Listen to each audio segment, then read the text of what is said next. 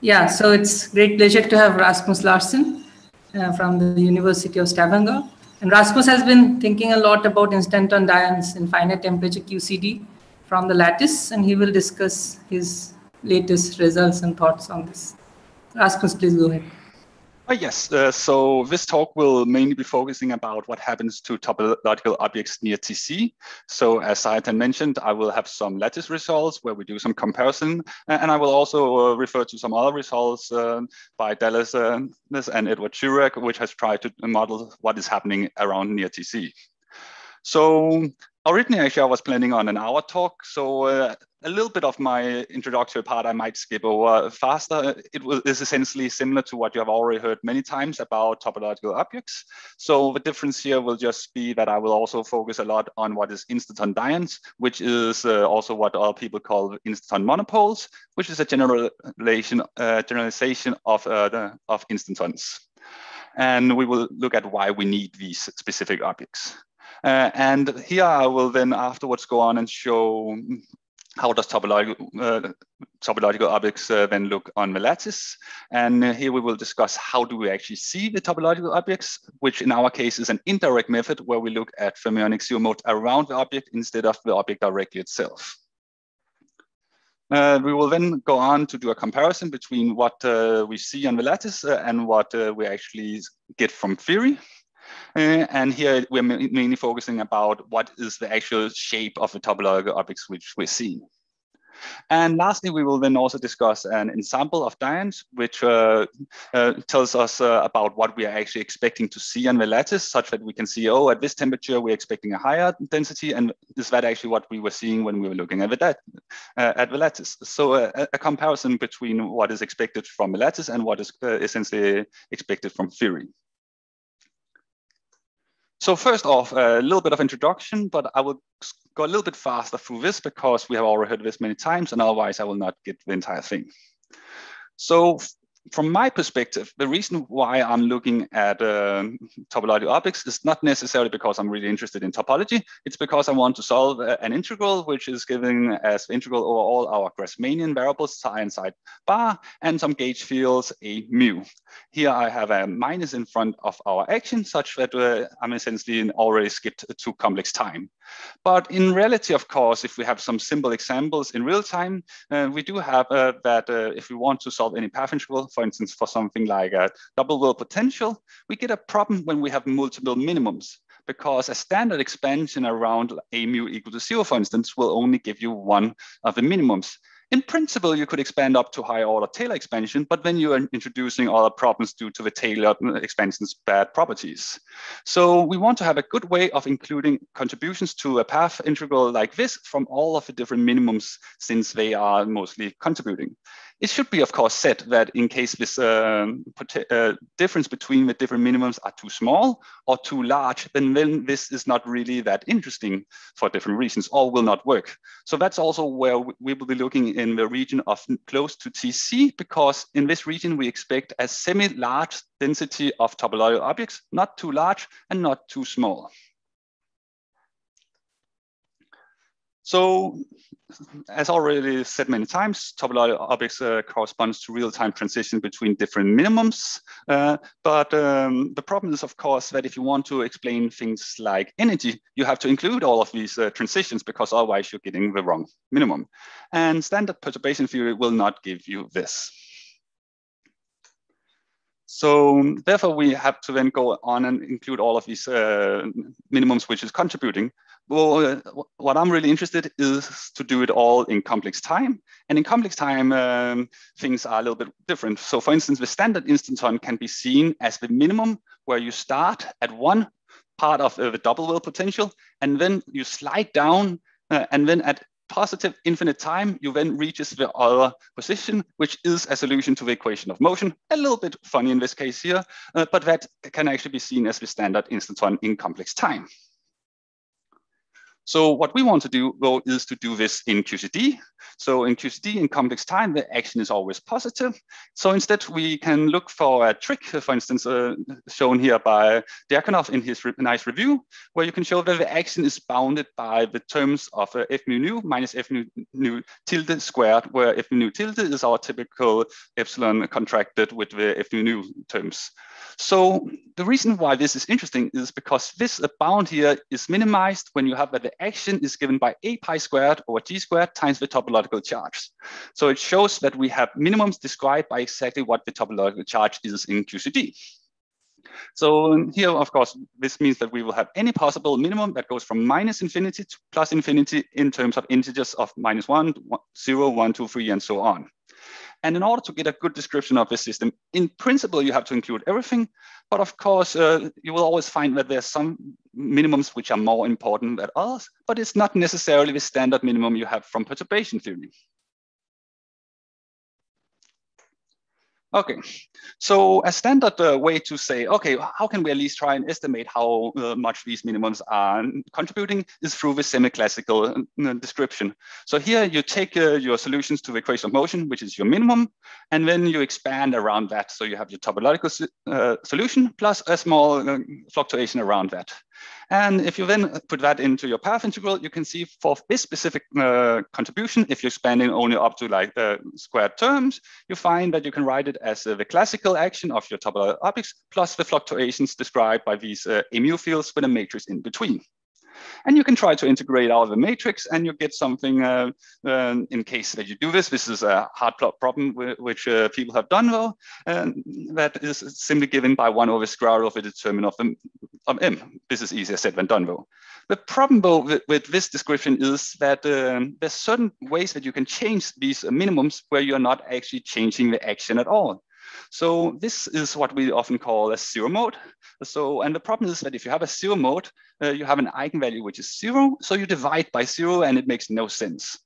But it's not actually that simple uh, because if you're integrating over something which is not changing, it shouldn't give you an infinity. It should give you the volume which you're integrating in. So therefore, we normally subtract the part which has zero modes from this and writes this instead of some term, a constant, uh, and a part which have the action in it, which of course can have some topological charge, and then also a volume. So this in, uh, uh, has a contribution of fluctuations, the classical action, and the volume which the, uh, your minimum can move around in. This volume here, though, can be many different things. So it could be your standard four volume, but in case, for instance, that it's rotations, then it uh, could be the volume of rotations, which could be like 2 pi or higher, depending on which rotations you have. So it's not just a standard volume you have here, though. Uh, so in case that we then actually want to find out what is really contributing though to the path integral which we're interested in, uh, then uh, you have to include all of the different minimums. And in a good uh, semi-classical approximation, if we have it dilute enough, we can say, oh, we can just explain like the two charge solution uh, as just two one charge solutions. So this means that we can write the contribution from each of the minimum as a sum that goes from minus infinity to, to infinity. And then uh, you just have to sum over how many times are you including these contributions. So so even though these numbers here can be small, in case that you have a volume which is like your physical volume of your entire space, then this can go so large that you will always have a, a non-zero possibility of having minimums not in your standard a mu equal to zero. And for instance, if you use the Stirling formula, you can, use, you can use that to show that indeed uh, the typical density of these minimums will indeed be just given by c times the exponential to minus a pi squared over g squared. So this is really con uh, uh, controlling how many of these topological objects you have in your solution. Also, it should be said this in factorial is because you don't want double counts. So so we have all of these minimums, which are all uh, giving a non-trivial contribution to the path integral which we're trying to solve. And we, of course, want to understand then what does these look like and how is these things actually happening? This is very like, uh, this is the simplest case. In reality, you have interactions, so you have corrections to the action from when you have multiple uh, instantaneous uh, or instantaneous, as I will talk about uh, interactions. Uh, but um, but at least we want to understand a bit more about how these things are working because. As we will see, this is actually quite important for things like chiral symmetry breaking. Also, a quick note, uh, will not spend too much time in case, of course, you also have fermions, which I kind of uh, didn't talk about so far. Uh, you do also have that you can integrate out your fermionic fields into a determinant of like your Dirac operator plus a mass. And this means that you will actually have, in case that you have any topological objects, you will have zero modes also for the Dirac operator, so fermionic zero modes, which will look like they contribute a lot. But you also have certain measurements like the chiral condensate and, and other inverses of the Dirac operator, which will actually have large contributions from topological uh, objects. So it might look like they will not contribute, but they will actually due to the, having certain operators going as one over the eigenvalues. Okay, so the topological solutions are always uh, self-dual and anti-topological solutions are always anti-self-dual given by f mu nu equal to plus or minus f mu nu tilde. I think you have seen that many times already. All I just want to mention extra is here uh, that you can actually uh, uh get the chiral condensate from the Banks-Casher relation uh, as the eigenvalue distribution at zero uh, of the fermionic Dirac operator. So why is this interesting in terms of topological objects? Well, these uh, topological objects should originally have a, a, exact zero mode for the fermionic operator. Uh, but when you have both instantons and anti-instantons, uh, they break these uh, fermionic zero modes. And models at least has been shown that this can indeed produce a non-zero distribution of eigenvalues in case you take the infinite volume limit for a zero mass. But as we will see in the end, this is really depending on taking the infinite volume limit. Okay, so uh, as people had already mentioned, you get, uh, for instance, a q equals one solution, which is called the instanton. And all I just want to mention here is that the instanton is indeed actually a very localized object. If you knew, if you knew, uh, uh so this is essentially the action density is given as a, a size rho to the fourth divided by x squared plus rho squared times to the fourth. So it falls off very uh, strongly as you go outside the size given by rho. So these topological objects are very localized, which we are talking about. So if they're not sitting exactly uh, on top of each other, you will find that they look quite dilute. Uh, but uh, so why do we need then, uh, why is these instantons, uh, which people have been talking about uh, so far, not really that enough? Why are they not enough? Well, the reason is two things. First of all, we are looking at finite temperature me measurements, so we need to have an instanton at finite temperature. This is called the caloron and can essentially be seen as just an infinite uh, chain, uh, chain of uh, uh, separated by one over temperature, because you get temperature in uh, lattice simulation by making it uh, making the lattice periodic in one over t in the time direction. But there's one extra thing. We know from lattice simulations that there's a uh, loop expectation value, uh, which is not always one. But the instance and Caloron solution will always give you something which is one. So these are not compatible with each other. So we also want a topological object which has a, a loop expectation value that can be anything. So that then gets us to why we need instanton dyons, or more like it's a generalized Caloron solution, but let me explain how these things are related to each other.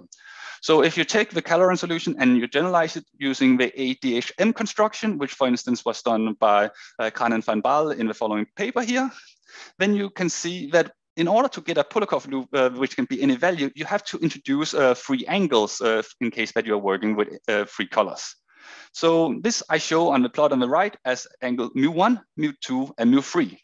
And your Polyakov loop um, will simply be given as uh, exponential to 2 pi i times a diagonal matrix with exactly these values of mu1, mu2, and mu3. So mm, why is this interesting? Well, when you do this, you find that the degrees of freedom which is controlling this generalized uh, Caloron solution is uh, actually different depending on whether you're sitting in this range of a circle, this range of a circle, or this range of a circle.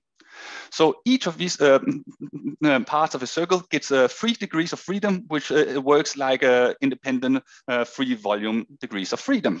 And these degrees of freedom is what we call the instanton dyons. So you need three of them to make up a full Caloron with a topological charge of one, but each of these uh, parts will have a part of the topological charge and they will have a part of the full action. Also, there's one extra thing you need to know, and that is that in case you introduce fermions, then you find that um, that the boundary conditions of the fermions will control what is happening to the zero modes, because we know that there should be only one zero mode for a topological charge of one. But we now have what looks like three independent degrees of uh, three-dimensional degrees of freedom. So where is the uh, zero mode sitting on? Well, if you take antiperiodic boundary conditions corresponding to pi, you'll find that it actually sits on the dyon, which degrees of freedom is sitting between mu3 and mu2. But if you change the boundary conditions, you can actually get it to move to the other dyons. So said in another way, this fermionic zero mode will sit on a, in the range of a circle, which corresponds to a specific dyon.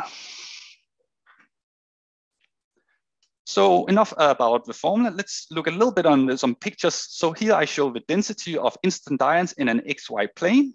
And you can indeed see that uh, you have three independent peaks and you can change the coordinates and they will move closer to each other. You can even move them completely into each other and the action and the topological charge will still stay one. Well, what will change depending on how you change it is that the fraction of these two measurements will be proportional to how large a fraction of a circle that um, the angles mu1 and uh, mu2, for instance, encompass. And this we tend to call the holonomy. It will always add up to the full charge of one and 8 pi squared over g squared, but how it is distributed will depend on the angles mu1, mu2, and mu3. Okay, so first off, uh, we want to identify then, is this actually what we're seeing on the lattice? So how can we do this? So there's two uh, uh, ways that you could do to look for topological objects. The first one is that you could try and measure f, uh, f uh, tilde on the lattice. And in principle, this is nice because then you could see everything there is. But uh, it's not easy to define this on the lattice without having large problems with UV noise and also, uh, so in order to fix this, people often do cooling, and that actually uh, affects the topological objects when you have instantons and anti-instantons, because then you don't have actually that uh, they are invariant under cooling. So instead, we look for, use the indirect method here, where we look for the fermionic zero modes instead. So this is like uh, looking at uh, an object that forms around the topological object instead of looking at the topological object itself. And the nice thing about this is that you don't need any cooling, but the problem is though that uh, you will, it works best when you have the smallest eigenvalues. As you get up to uh, more and more strong interactions, such that you have larger eigenvalues, you find that the things becomes more and more messy and it's harder to see what you're looking at. So therefore, we will mostly be focusing on the zero mode and the near zero modes, which have the smallest eigenvalues. So in order to do this, though, uh, we use the overlap Dirac operator. So, Uh, and the reason for this is that this operator has exact zero modes, while a lot of other operators, pretty much all of the rest, only has uh, close to uh, to exact zero modes, or not even close to at all, it should be said. Uh, so the Dirac uh, operator, overlap operator, is uh, given as uh, 1 minus gamma 5 to the sign function of HW, where HW contains our standard uh, Wilson Dirac operator, but with an extra mass term which has to, to be tuned in order to not get doublers.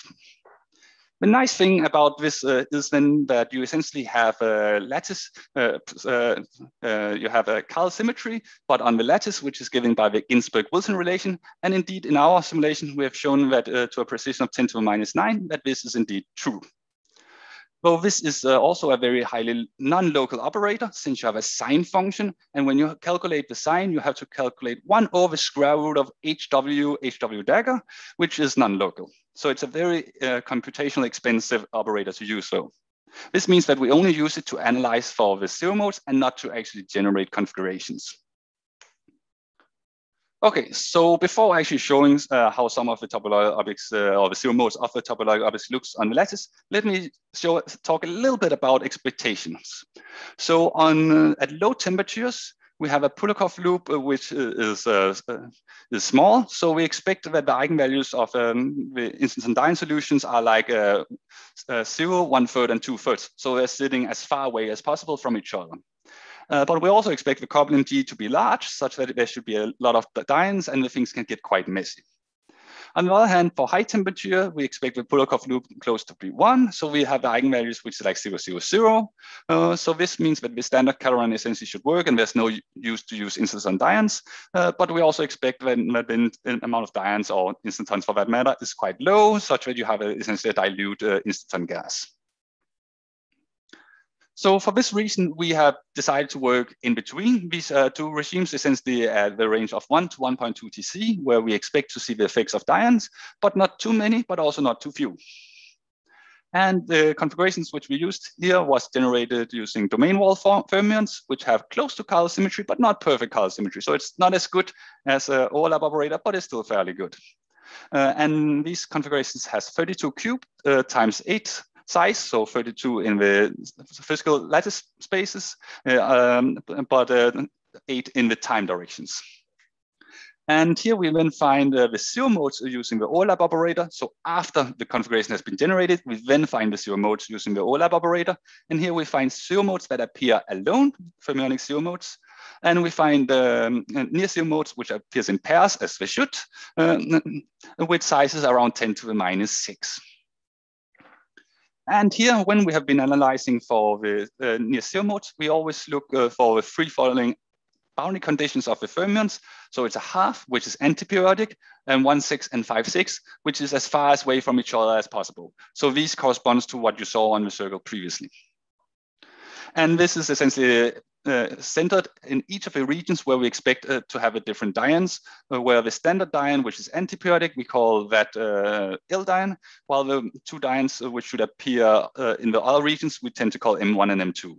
But these are just naming schemes. Okay, so let's look at actually some of the zero modes uh, and how they appear on the lattice. And then a little bit later, we will see how they actually compare to some uh, numeric, uh, some analytic formulas. So what we show here is the density in an XY plane of the, the exact zero modes for temperatures of one up to 1.1 Cc here. And the red part is antiperiodic fermions. And the two other blue and greens are the ones which will be sitting for the M1 and M2 dyons. So you can think of these colors as the zero modes of the L, M1 and M2 dyons. And what we see is that generally speaking for the zero mode, uh, the position of where the zero modes are sitting for the three types of dyons is strongly correlated. It's not always on top of each other, and you also do sometimes find peaks at other positions, but generally for the main peak, they are strongly correlated between the three dyons for the zero mode. Uh, generally also you find that uh, for the cases which is not red, which is uh, for the, uh, so not L dyons, also often have a lot of other peaks all over the lattice. For the near zero modes, uh, we tend to not look at the density, but the chiral density instead. The nice thing about this is that we can uh, then see if we have a topological object or an anti-topological object because they will appear as plus or minus. So for instance, here we look at 1.1 TC, and on the left, uh, we can see it for antiperiodic fermions, while on the right, we see it for what should be a M1 dyon. And you can indeed see that even though this is the same configuration at the same temperature, that uh, for the L dyons, we seem to have something which is uh, like a dyon-anti-dyne pair, while on the right, we see something which is peaks and valleys all over the place. So this indicates that there is a difference in distribution, and it's also probably a difference in density, though you can't definitely say that from this. It should be mentioned that this is, of course, only one out of a distribution of lattice configurations, but this is the general picture which we see at this temperature. Okay, so let's try and compare this to what you actually expect uh, from, um, uh, from uh, analytic formulas. So, so in order to do this, we have done uh, a chi-squared fit with the analytic formula obtained from the ADHM uh, formula. And here we always fit to the densities also because these are gauge invariant. And we assume that the error bars are the same for all the data because we don't actually have any error bars on these uh, zero modes, so they are exact. And we fit with an, uh, uh, not the full uh, lattice, but just the local volume around each of the zero modes, because we do always see all small peaks, since this is actual lattice data. when we have a charge of qt equal to one, it doesn't mean that there's only one instanton dyon. It just means that there's um, maybe the difference between dyons and anti-dyons is one. So there could be 100 dyons and 99 anti-dyons, but we just see one zero mode. But it still means that there can sometimes be a little bit of mixture of other peaks going into the zero mode solution. So we will fit around the dominating peak, but uh, just uh, bear in mind that this is the case. So the formula which we use, as I said, uh, was obtained from a ADHM uh, method. Uh, here we have a, a, a, nice derivation coming from uh, Pierre van Baal, which can be found in the following paper. So in order to find the density, you have to solve uh, for the function f. And here you can really see why, why the dyons are living on the circle. So uh, this is an equation on the circle, and the boundary between each of the dyons are given by this delta function here. And inside uh, of each of the regions, there's a distance, um, which is the separation from the dyon to the center. And this uh, changes when you go from one dyon to another dyon. So you can really see in this formula here where the degrees of freedoms from the different dyons are coming from. But anyway, so this uh, can be solved. And if you take the double derivative of this, you get a very long expression, which I will not write down here, uh, but you can get the density. Let me just instead show the main behavior of how the density of these fermionic modes around the dyons behave like. So even though that uh, the dyons, uh, uh, the solution will be sitting around one of the specific dyons, depending on the fermionic boundary conditions, you will still find that the shape is depending on what is happening to the other two dyons inside the solution. So in case that you have uh, the short range behavior, for instance, uh, around the maximum, that is mostly uh, controlled by the interference between the different dyons. So if they are close to each other, you find a strong peak, very localized, while in case that you have them far away from each other, it will uh, go further away, uh, it will be much less localized, and you find that it also starts to become time independent. So the time dependence is coming from the interference between the different dyons. Uh, but still, you, you, have one extra information, and that's what is uh, happening with the Polyakov loop.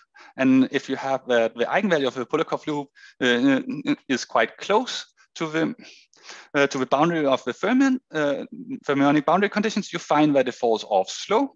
And if it's further away, you find that the fall off is faster. So you also have an importance in what the expectation value of the Polyakov loop is in how these solutions behave.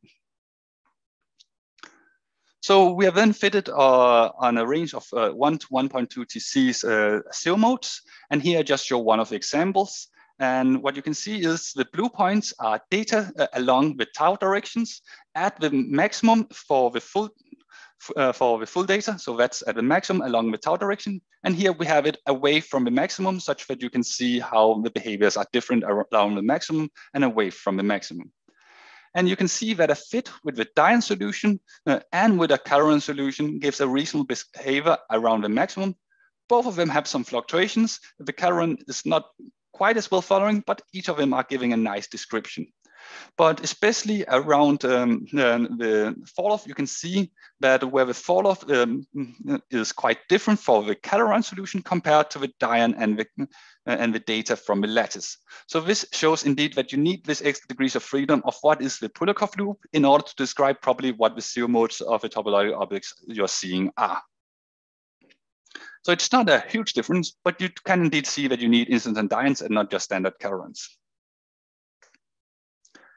Okay, so in order to have done this fit, we needed to have fitted a lot of different um, uh, parameters. So you fit the position of the dyons, but you also fit what the Polyakov loop is. So we try to then reverse engineer this uh, and say, okay, what kind of Polyakov loop expectation value does our fit then produce? Uh, so that is the orange and blue black points, which are two initial different conditions, because we want to be sure that we weren't uh, depending on the uh, initial conditions. And the gray line is what the lattice predicts. So you can indeed see that our fit tends to have something which is quite close to zero, but it does have a, uh, a tendency to go to larger values as you go to higher temperatures. Our largest value is a bit large, it should be said, but the statistics is very bad on this one because uh, as we saw uh, from the semi-classical approximation, when you go up to higher temperatures, the density strongly drops and therefore you expect something uh, where you don't have as many uh, zero modes and that is indeed what we see. So it's harder to get good statistics at this temperature here. Also, we're a small group, so we don't have that much. Okay, so the other thing what we were fitting in these fits were the, uh, the, positions of the dyons in order to create the correct zero mode. And here we uh, found that the, just as you could see in the previous plot, that the M uh, 1, M2, and L dyons tends to sit quite close to each other, but it's not always uh, quite on top. So in terms of a lattice spacing, like uh, um, uh, you find uh, that it's like one to two lattice spacings, or around uh, one third of a femtometer, which is the typical uh, distance between the M and the L dyons inside these fits here. So quite strongly correlated for the zero modes, but not exactly on top of each other, it should be said. Okay, so the last thing which I wanted to put into this uh, uh, talk here is a bit about the example of the dyons, because it explained uh, why we're doing this and, um, and why we should expect to see what we're seeing. Sorry. So this means that we go back to, uh, to look for the minimums uh, of uh, that is contributing to the full path integral. And um, in this case now, with the dyons compared to the instantons, we no, don't just have a degrees of freedom for each of the instantons, we now have a degree of, of freedom from each of the dyons. So we write this uh, as uh, the same sum as you had before. So the fluctuation contribution, the action contribution, and the volume contribution, and then to a power of how many L dyons, M dyons, or M1, M1 dyons or M2 dyons you have. And same thing also with antidyons. Uh, but now there's a difference though, because actions uh, is now changing with uh, what the holonomy is. This is how large a fraction of the circle each of the dyons were encompassing. So you can indeed uh, see that what the Polyakov loop is uh, will have an effect on the, uh, how much each of the minimums are contributing to the full um, path integral. But uh, in order to describe the temperature range, which is around Tc, though, you cannot just anymore say, oh, things are not interacting anymore. Uh, so you do have to, uh, yes, Sayantan? Okay, anyway. Uh,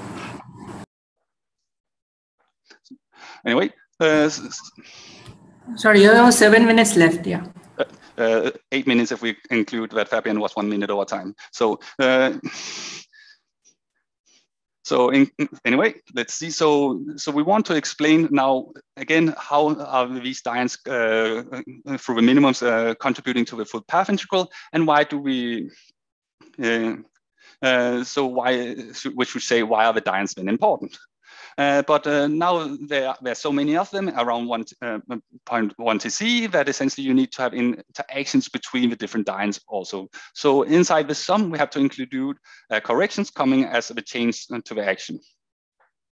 Uh, it should both be said that typically in these uh, uh, cases here, we assume that the amount of M, L, and M and L dyons are not the same, but that we assume that there's the same amount of dyons and anti-dyons, because otherwise you get into some other considerations.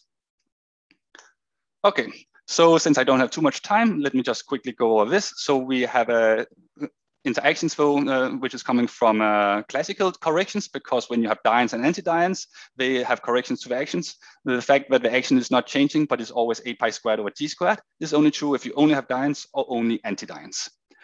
Uh, we also find here that we need a core, though this should be thought as a model parameter. But the nice thing is that this has to scale with the holonomy. So if you have a, uh, um, so it will, so the core of these dyons in the simulations will depend on what the Polyakov loop expectation value is.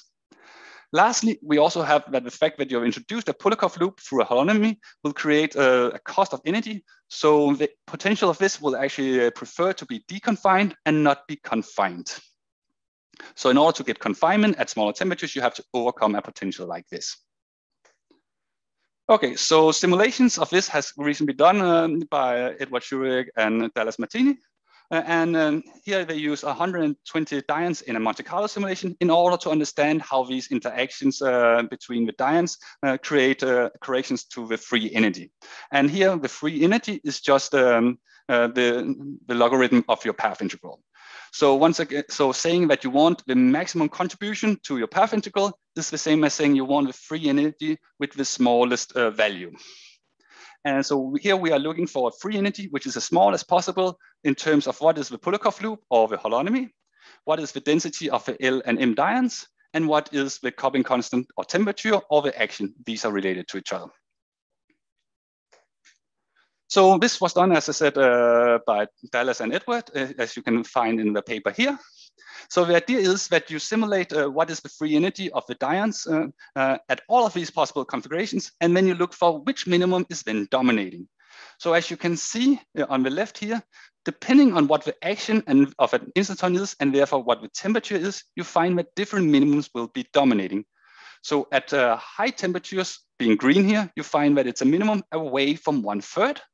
But as the temperature goes down to the blue one, you find that it shifts into the other minimum here. So in this pure gauge, you will find that there's a jump at some position from one minimum to another minimum, and that will give you a jump in your holonomy and therefore in your Polyakov loop.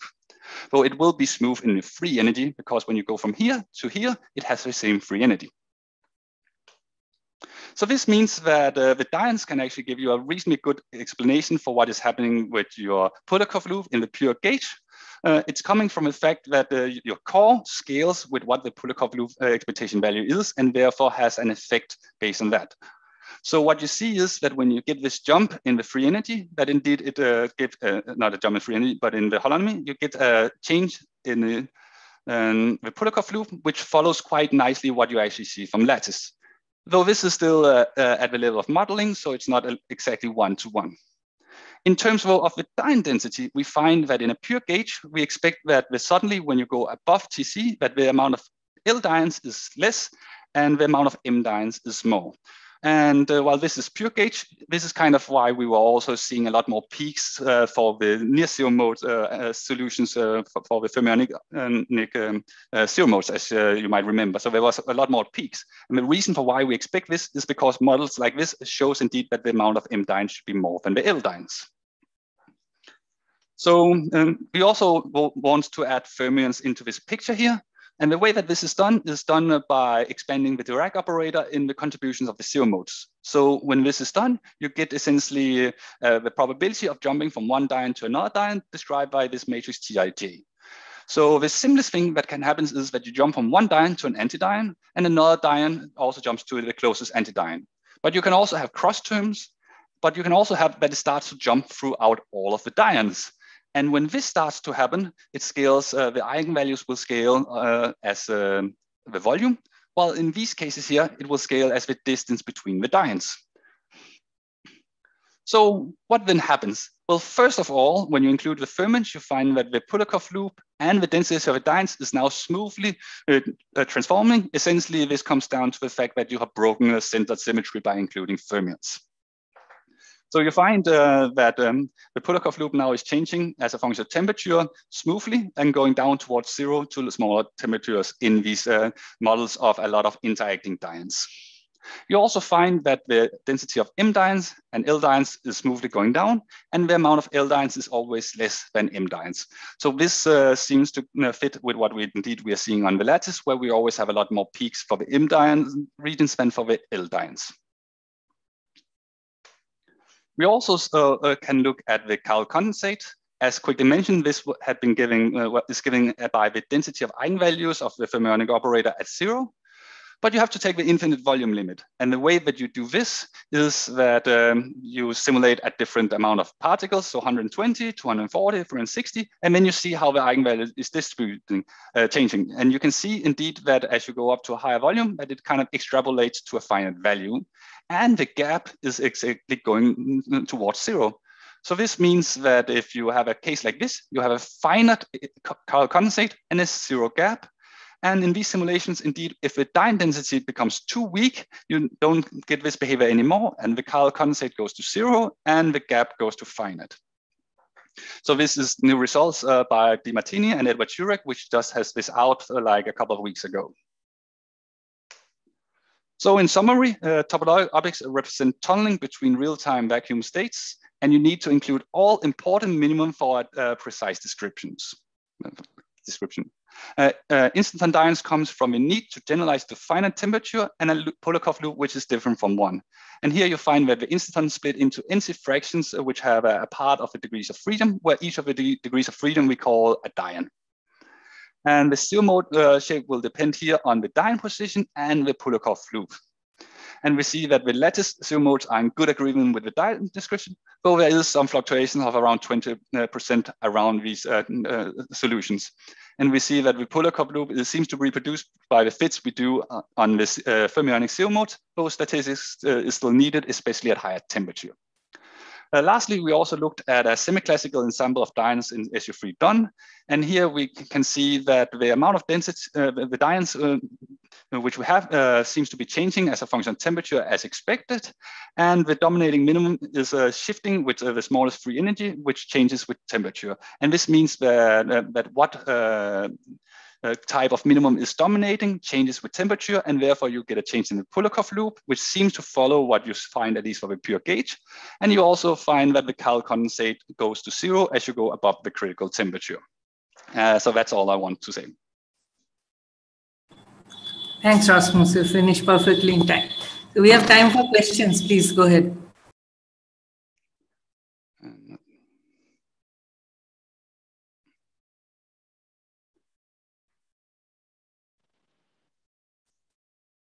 Antonio? Oh, we have Nisat. Um, uh, yeah. Um, yes. Hi, hi, Rasmus. Um, hi, hi. Okay, so I explained this many times to Edwards, but uh, he keeps insisting on it.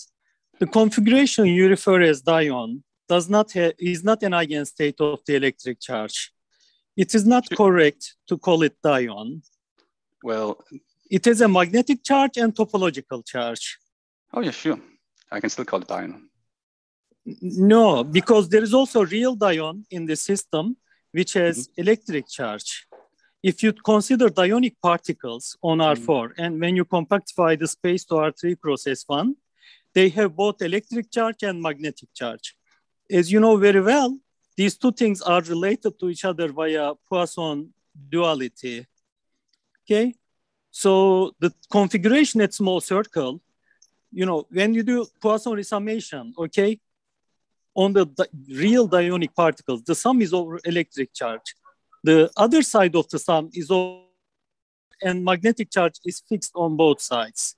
These configurations you are talking, say I that? Don't disagree with, I don't disagree with you Very on good. anything. Very I'm, I'm good. just saying, yeah. I'm just, I'm just following the naming convention which our group has been done. So if your uh, uh, suggestion is that we should change the naming convention, I'm fine with you, but I don't disagree with you on any Look, of it. I'm just, okay. uh, we use the, these Very papers good. here Then, and they call it dyon, so look, I just keep calling it dyon. I will continue. I will continue. So the charge is really magnetic charge, okay, and topological charge. And these objects are standard monopoles. but I mean, Van called monopoles, we called monopoles, and for some reason you decided to ch- change the name, i- i- i- maybe Edward and others, and Uh, they I- started to call it uh, dyons.